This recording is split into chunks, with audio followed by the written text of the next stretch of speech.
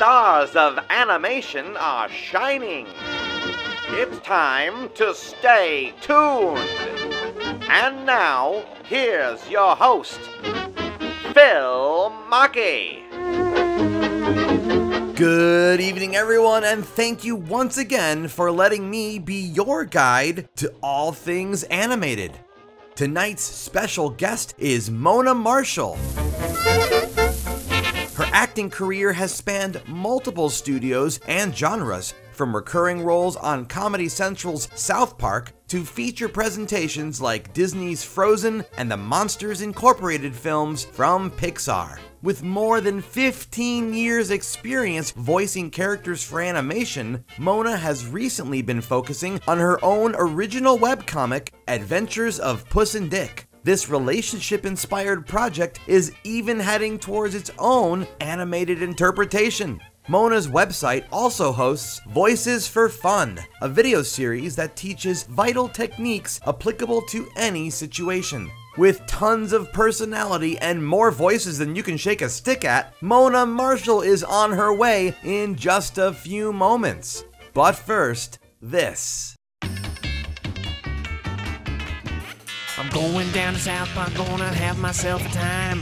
Friendly faces everywhere, humble folks without temptation. Going down to South Park, gonna leave my woes behind. And we're parking KNS, people spouting howdy neighbor. Mona Marshall, welcome to Stay Tuned. Oh my God! Thank you for inviting me. I'm excited to be here. Oh, we're so we're all so bubbly. I you know I can tell a fellow theater person a mile away. So Oh, yeah. So your background is in theater too. Oh yeah, musical theater, all Oh that my stuff. God! Yes. Yes, I love you already. Thank you. Yeah, that, that and um, speech and debate and just oh, good. See, I didn't do that much in debate, but I well, love. me neither. The speech part. It was it was Yeah. more uh, the speech part of speech and debate was really like doing a one man show Yeah.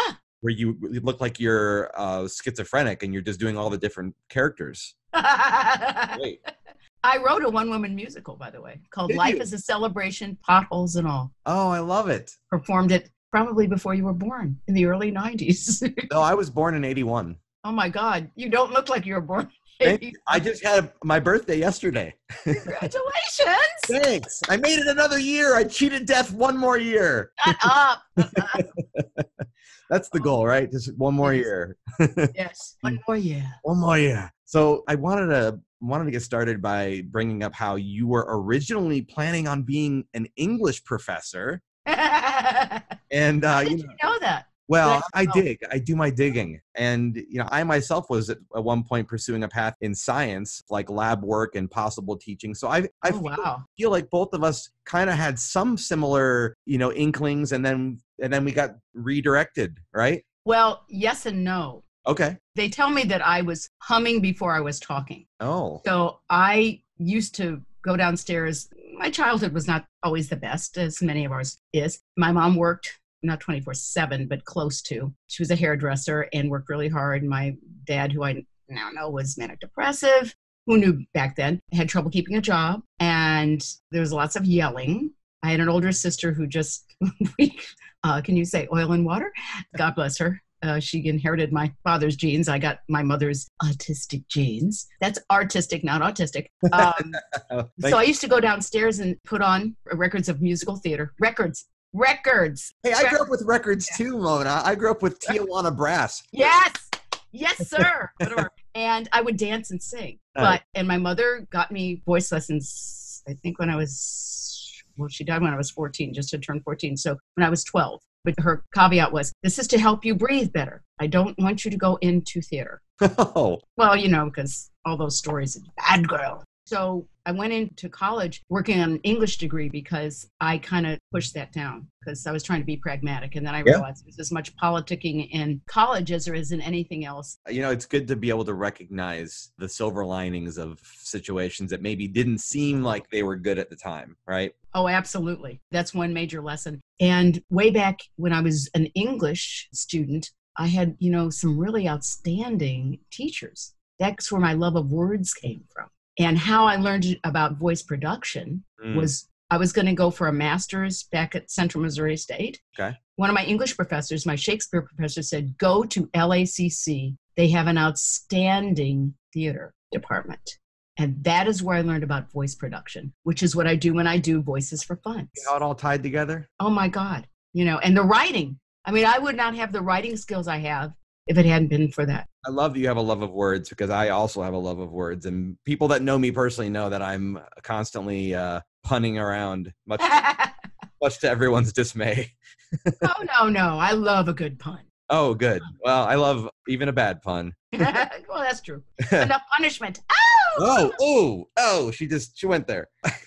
so I have to. You led me. I did. I fault. did. You mentioned you were trained under the great Daws Butler, Oh. of course. What's one thing that you learned with him that has managed to somehow stay with you all this time? Well, I th- believe the first time I was in that class, he said, You know, if you can't act in a 30 second commercial, maybe you can't act. well, there you go. Now, I realize this is not Shakespeare. I know that. Right. And I was trained doing classical theater. But I think what he was saying was it's important to pick the essence of a character and then go with it. And then when you study improv, you learn to do that all the time. Like today, I'm doing a character that I haven't done for several years. You have to listen to it, find where that character is, and you just have lines. I mean, you have people kind of telling you what's going on, but you've got to think about what is going on and be there yeah. for me.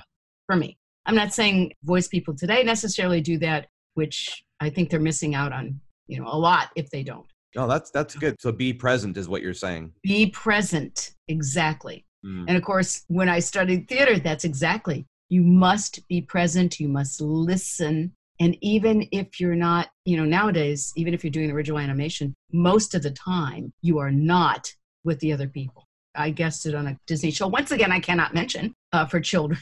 it's like, no, no, you can't say anything because it's not. A... And they were telling me that they don't do the maid, the ensemble together because they can't. And for me, one of the delights of doing Adventures of Puss and Dick when we recorded it was everybody was there, even though people didn't necessarily have the same scenes together. So Because you, you play off of each other. yeah, of course. Yeah, that's part of acting is reacting. Sure, you betcha. Yeah. So you mentioned the, the Adventures of Puss and Dick. This is a, Yes. this is a passion project of yours, or whatever the. It is a passion project. It's essentially really about communication okay. um, and how masculine energy and feminine energy are different. yeah, And is okay. oh, it's wonderful. Right. However, however, part of what needs to happen, I believe, is in order to understand each other better, it's a good idea to step into somebody else's shoes. Mm. And one of the reasons I've been driven to do this is there is so much vitriolic language today. Whether you're talking about countries that are in conflict or two political groups that are in conflict, part of it is if we do not begin to understand each other and see where we can make compromise, we're going to end ourselves. And so, since I can't, you know, I'm not a politician, I'm not, oh, I can wave my wand and change everything. I thought, I mean, this came out of years and years of development. This didn't, I mean, this goes back to kind of an epiphanal experience I But the had. timing, but the timing is interesting because we're in such a, a volatile, Yes. uh, sexually charged in a, a very angry way. Well, yeah. And if you look at yin and yang, Yeah. you're talking about the fact that you need both to form balance. Right. And even in a in a couple situation, even in a gay couple situation, even in a transsexual couple situation, you are still dealing with that balance of masculine energy and feminine energy. Yeah. So and beyond that you're also dealing with just balance meaning we can't both be leading at the same time right, Right. there's that given somebody has to be taking the lead and someone is taking the back seat but then those those roles can be uh, interchangeable and exactly. yeah And that's why you said being present. Yeah. That's as important in life, probably more important, you know, even than it is in theater, to be present. sure And we're missing that because of the technology. yeah And I'm not saying, listen, technology is great. well yeah but we also need to encompass actually like one of the things i liked is that you wanted to see my face yeah. I wanted to see your face. It's very important. It's it's so funny because when we are looking at what makes a good actor or actress whatever you, what the proper term is anymore uh actor. actor when we're looking at someone who's good we say they're good because they make us believe they're real. So oh yeah. that's the whole point is being real with people.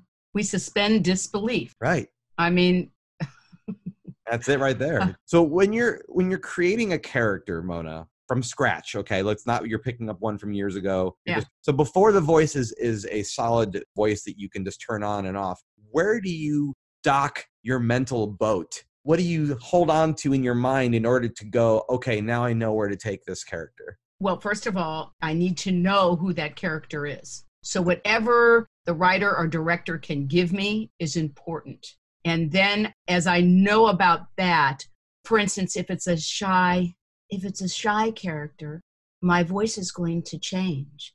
The placement is going to change. The rhythm is going to change. So that, perfect example, uh, I did two ancillary characters today, never done before, both women, one in her 20s, who was a bit sarcastic. And, you know, that voice just got a little bit up in there and a little bit slight nasal quality to it because it can be a little bit in your face. And the other one had been through a lot of pain. She was older and there was a certain hesitancy. So it all comes from images I have in my brain. Mm. So first I see them outside, then I become them. And that's how I relate to whatever's going on. I love how you weave cadence into that too. Oh my God, yes. One of the things that Sue Blu used to say years ago, and she directed a couple of series I did. Um, one of them was um, James Bond Jr. And she would say, "Don't pick up each other's rhythm because it's very easy to do that." Oh, interesting. And yeah. At some point in your career, did you find that you were picking up rhythms and had to kind of break yourself of that? Well, not so much. It it wasn't like such a big thing, but and usually I was the only woman, you know, and that's it. That thing I was basically. I think there were two women. Not so much, but sure, of course. And you know, when you do anime, it's a whole different thing because you're going with the rhythm of the mouth. But yeah, it's something you always need to be aware of. Sure. Well, speaking of anime, you were in the uh, English translation of one of my favorite Miyazaki films, Spirited Away. Oh God, I love that. Oh my gosh, yes. In what ways, how is that experience different for you than any other anime you've done? Well, first of all, the actual animation is so breathtakingly beautiful. Of course. Every time I see that dragon, I cry. Hmm. First of all, I love dragons. And how this that- was a very interesting session. Hmm. You know, a lot of people turn their nose down about 15, 20 years ago with anime, okay, and still did. When we did that session, half of us knew what anime was and appreciated it, and half of us was like, oh, yeah, it's that Japanese stuff.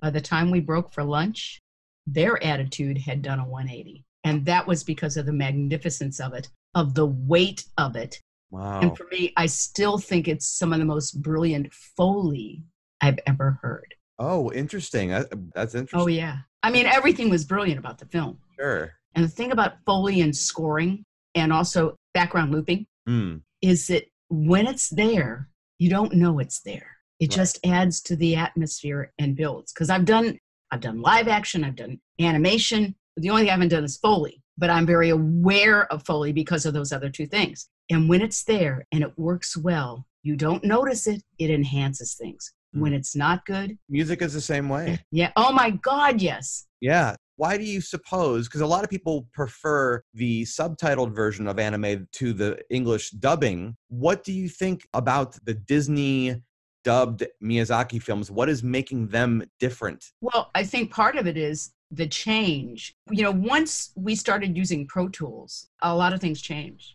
Uh, one of the things I always respect about Jamie Simone is that for him, it was always about performance. Mm. So if you had a good performance, he would do everything in his power to make sure that the engineer got that to work. Now, that was a lot harder before Pro Tools. Oh, okay. So, and it's very interesting. I did a, So did technology helps then. Oh my God, technology made all the difference in the world. Pro Tools meant that you could have a really good performance, and if it was just a little off. And now what's interesting is some anime, the dubbing is better than when the original animation has been shipped off to a foreign country and brought back here. And I am going to do everything in my power to make sure that Ventures of Puss and Dickens Union and that it is done in the U.S. Bravo. Not not because people are not talented over there, but the subtlety. yes. And my show is run on relationships, not on characters. You know, what you're saying is reminding me of something. And for years, I would listen to these commentaries on different animated series. And it just kind of dumbfounded me that they would ship things off because it seems to me like when they do that, something gets lost. Oh yeah, And then they have to ship it back again and have them reanimate a section because it wasn't done right. And I keep thinking, wouldn't it just been better to have done it here in the first place? Well, yeah, but the thing of it is, how much money do people need? I mean, this is Yeah, systemic in our country. Yeah. And I understand now being a producer with this project because I, I've poured my own money and savings into this. I understand why a producer gets paid more. Absolutely. But there is no reason today that large companies, especially, are not union. There is not one reason, especially the dubbing contract, which is so cheap anyway. Hmm. Yeah, and the fact that people understand that to work on an animated film or a video game, Ugh, as soon as the project is over, they dissolve the crew every time, and it's it. kind of maddening to think about that. Yeah.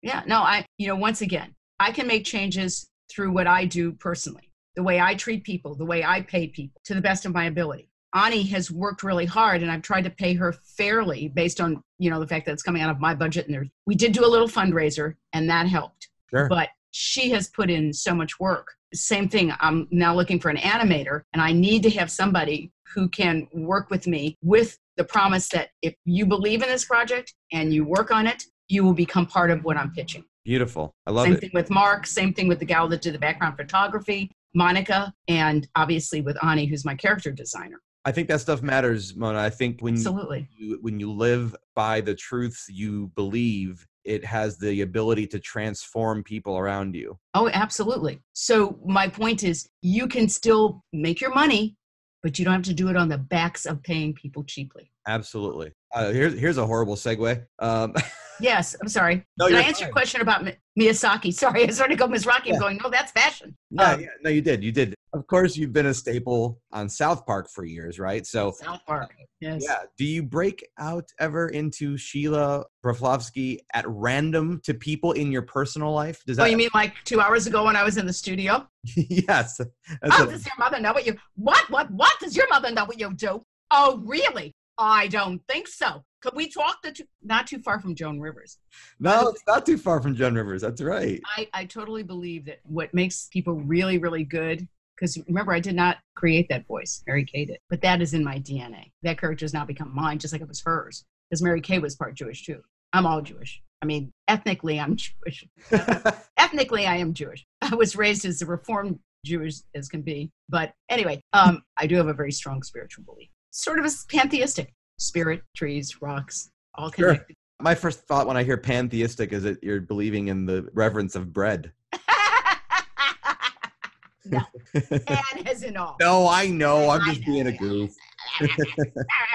okay, where, where was I before we went on that segue? How how you inherited the character and it was- Oh. she's now you. So, yes, but that's also very much my rhythm. I had been doing Joan Rivers at conventions and stuff back in the day because there's certain rhythms that are more natural. You know, it's like part of it is I swear to God, there's an eight year old boy. I was a tomboy. There was an eight. There's an eight year old boy that lives inside of me and he's never going away. I like him, and from there I have variations. I started doing. There's There's Margaret and I am four and a half, and my older brother is Mikey. Yeah, okay, they get it, all right? You don't have to keep talking. I created an entire life for them. It's like you're having a whole conversation with yourself. Well, not to me. I'm having conversation with them. It may sound like that to you, but to me, they're alive. And Oh yes, no, of course. I no, no, no, no. I know. What I'm saying is that's not how I think about it. right. And when I started doing them, that's where once I could get into the consciousness, because it's not just, oh, I can do a little boy voice or a little girl voice. It's you have to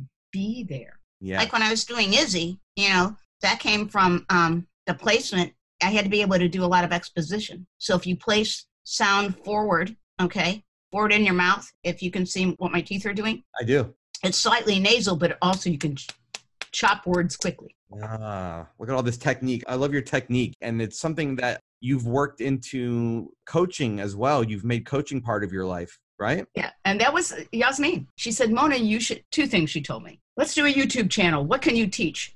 what can you do? I said, Well, I know about voice production. And the thing I like about that is it's not like, oh, I want to be in voiceover, which is great if you really have a calling to be in voiceover or to be an actor. But I can teach people voice production that they can use no matter what they do because it's about using the voice, once again, communication effectively Absolutely. that felt comfortable and that's free my one-on-ones i charge but what i'm giving people is a foundation that they can then use. And then you go take a class, or you take an improv class. That's vital. And then they want to, if they want to focus, then they come to you and have one of those sessions and they get a more advanced degree of coaching. Yeah. But just if you want to know more about how to just use your voice in general, that $195 is worth it, Yes. in my opinion. It- the way you talk about it, it's very much like playing an instrument. Yes. Well, it is playing an instrument. Our voice isn't, honey, years of operatic training. Oh, I opera. studied opera. Oh, yeah. Oh, wow, beautiful. Do you ever try to get back into the theater and do that stuff now? With the time I have, no. What I would like to do, if once I get Puss and Dick on the ground, then I have a children's read aloud book called Angel and the Magic Pen that I will work on next. That I developed as a volunteer at the local uh, school here, McKinley Elementary School, over a period of 15 years. It teaches articulation, it's imaginative. Anyway, what I would like to do is my one woman show.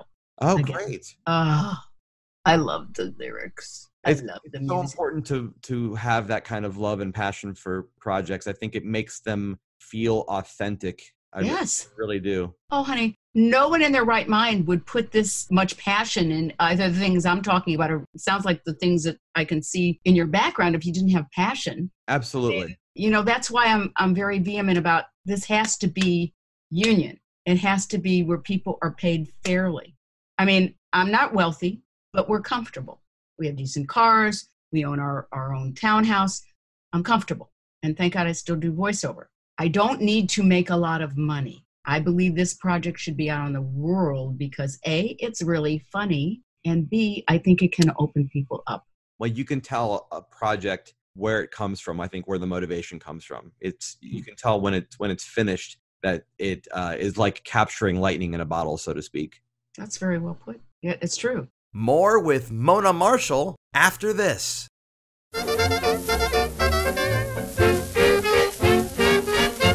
What's one bit of advice you would give to the child version of Mona if you had the opportunity? Oh, wow. Hmm. You know, I, I have fought with feeling inadequate my whole life. And it seemed like everybody in Daws's class was working before I was. And then I started working and then I never stopped. So I go back to this from dating Sal. I got divorced and met Sal in 1982. And I was a poor actor. I was touring with the LA Moving Van and Puppet Company, and that gave me, oh my God, a foundation in two things. One, in theater, because we were working with children, and children, that's a whole different thing. I never dreamed I would want to work with children. Daws wrote the monologue that got me that job. I sang an original song I had written that got me that job. I knew nothing about hand puppets. That director, Paul Hansen, who was freaking brilliant, believed that it was easier to teach an actor to work a hand puppet than it was to teach a, a puppeteer to be an actor. Hmm. That gave me a lot of confidence. And by the time I started doing voiceover, I used to say to myself, if you do not believe you are good enough to be here and earning this money, then you don't belong. Go away. What I would say to that little girl is these talents that you have were given to you. You do not own them. You are like a gardener, and this is your garden. Your job is to take that talent and develop it to the best of your ability and share it with the world in whatever way that comes to you. That's what I would tell that little girl. That's beautiful. Part of that is developing your inner life. Yes. Can't all be about work. My husband, God bless him, keeps me grounded. That's not easy to do.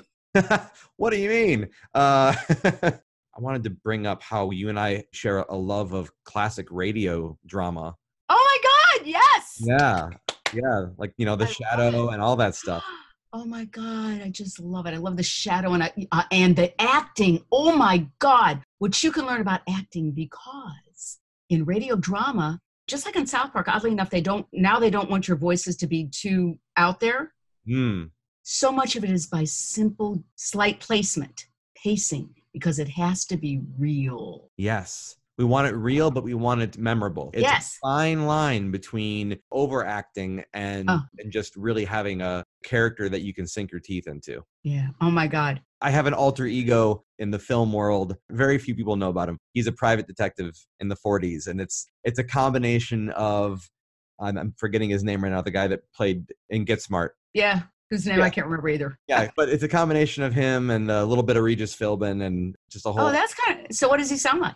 They call me Meadowdale, Peter Meadowdale. Oh, I like that. Thanks. Do that again, but do some more of that uh, because there's something interesting about the way you. warm May afternoon on Friday the 13th, 1946. I was sitting in my office talking with Mona Marshall when a knock came at the door. I told That's him to come in. Oh, thanks. I like that. Thank I like you. that. I like what you're doing with your tongue. There's something interesting that's It's not even. That's not Yeah. even. Um, but I like that. I didn't think I like that. It almost sounds as though you're it's a foreign language and a slight speech impediment, and I like it. I like it a lot. You're very good at this. I think you should consider doing this for a living. Oh, that's that's very sweet. Thank you. Is there a particular character that you really felt personally connected to, but they didn't get a lot of screen time because the series didn't last very long? The character that broke my heart that they're not doing is Doraemon. Oh, that's weird. You know, the blue robotic cat. That's a Japanese icon. Did Oh, okay, yes. Well, Disney, first of all, he's thought of with reverence and people love him. The Japanese and most Asian countries, they know him, they love him. He's as popular as Mickey Mouse. And Eric Sherman from Bang Zoom really worked with me on developing the character. He really wanted me to do it because I think he knew I could act it. And, you know, when you're doing something like that, I also did Chavo de la Ocho.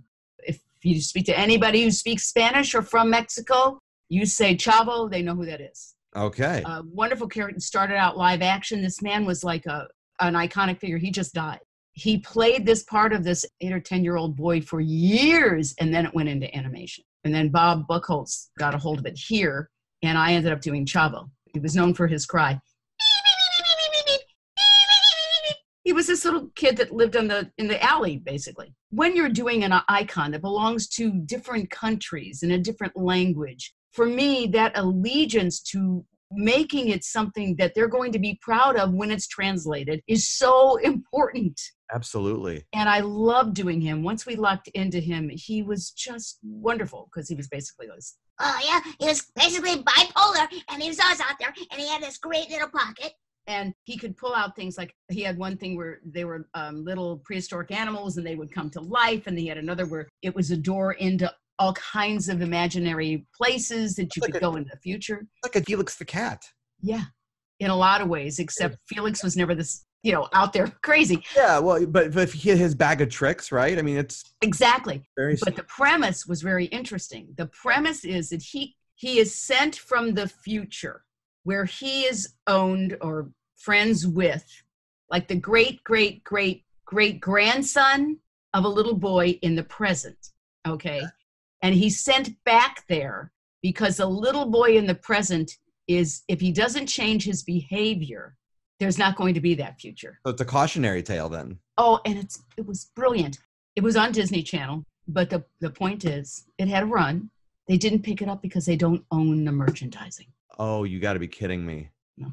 I won't get into that can of worms. That No, no. But that broke my heart because Sure. I loved doing him. Oh he wow. was so different. I mean, even though it was exhausting to do for, for for three hours or four hours, but you know, it was just wonderful. That's great. That's beautiful that you got to represent such a important because these characters are important. You know, they really they oh touch Oh my God, people. Of course they are. See, that was one of the things about getting involved in social media and having somebody. I did not realize how the characters I've done over the years have impacted people. There's something about That's a well, gift. when it's yeah, it is when it's no longer coming out of a human face. There is something that tears down our inner walls where now that voice we allow them to enter our lives in a way that is quicker than any other way. I think. Yeah. Yeah. And I've gotten letters. I got one about Izzy, and this was somebody who had attention deficit disorder. And I guess watching Izzy from watching Izzy from um, Digimon. oh, Hello, okay. Izzy from Digimon. Digital monster. Com- yeah, the computer genius, which is so far away from me in real life, but not his personality. And also, I have to tell you, I came up with the word prodigious. I'll tell you, that's a very cute story. Anyway, she related to that because he was a computer wizard, and that was where she found solace was in working on the computer. Oh, I got that letter and was like, oh my god. that's great. One of the things I loved about touring with the LA Moving Van and Puppet Company and why I still read to children today as a Oh, volunteer, both at Descanso Gardens and then um, at base camp once a month, is because I miss that interaction with kids. And Mm. I don't have any of my own. So, you know, and plus they'd be grown by now. oh, but- but, but- you do, Mona. You have children all over the world. you think about it.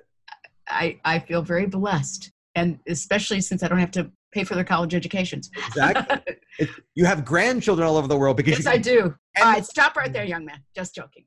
Um, But the prodigious story is funny. We had our first session of Digi of Digimon. Yes, I do know the series. It's Digimon. Anyway, um, and we were looking for some kind of word. Now you understand it can't go too far afield because it's you know it's anime. So you have to think in terms of syncing. That weekend, my husband and I watched October Sky. Do you know the film? I do. Okay.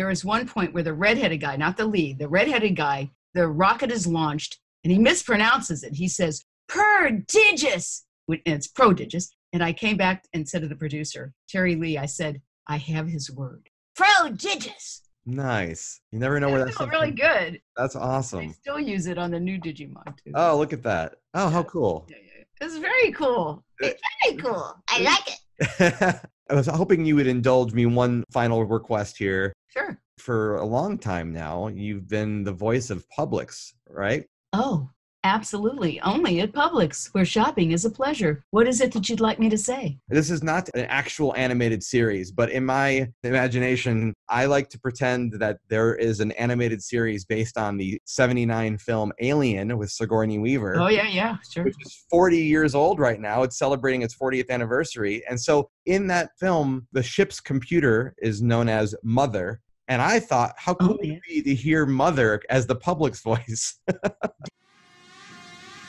Danger, the emergency destruct system is now activated. The ship will detonate in T minus 10 minutes. The option to override automatic detonation expires in T minus 5 minutes. Ooh, it's creepy. I love it. Delightfully creepy, though. yeah, exactly. That's I think the best thing about a science fiction computer voice is when it sounds pleasant. Yes. You know who um I think in the back of my mind I was thinking of oh Dave. Yes. You mean Hal, right? Yeah. yes. Yeah, all the yes, best. but how I get you know they're they're like lines, key lines I call them. Hmm. You know, for Kyle's mom, it's what what what I had no idea chickenpox was such a dangerous idea. Because that's what I heard over and over again. And then for Butter's mom, it's Paint. More paint. it's the line that gets you into it. For Doraemon, it's Oh, that's weird. That's really weird. um, It's like their signature line. It's like what they're known for, right? what they're known for and what gets you into that. Thank you, Mona, so much for being here today. You've You're welcome. uh, really uh, made me feel special with your time and uh, all your expertise, obviously. And when can we expect to see Puss and Dick? Well, it all depends on uh, two things. I have to get an animator. I think I can do most of the storyboards. I'm hoping by the end of this year. Great. I mean, keep me in the loop so I can let everybody. I will keep you in the loop. Everyone who has been kind enough to want to interview me, I will keep in the loop. Believe me. Great. Yasmin is really great at what she does. I, I will make sure that everybody who is in touch with me knows. Plus, if you check social media, because we're trying to keep, you know, while we're developing this, we're trying to also direct people to the comic, even though the comic is not ongoing. It at least gives them an idea of the characters. Where can we see the comic? Adventures of Puss and Dick.com. Great. Yeah, yeah, yeah. Oh, yeah. The comic is fun, and Ani's illustrations are just wonderful. Yes. Well, thanks again for being here, Mona. This has been fantastic. Well, thank you for having me. I have had a great time. You are a wonderful person to talk with. As are you. Very good interviewer. Oh, well, thank you. I practice Bring out the best in people. I should learn to actually. Who was interrupting who? Never mind. I had a great time. It's been marvelous. God bless. Take care. Good luck with your project. You too, Mona. Bye. Bye bye.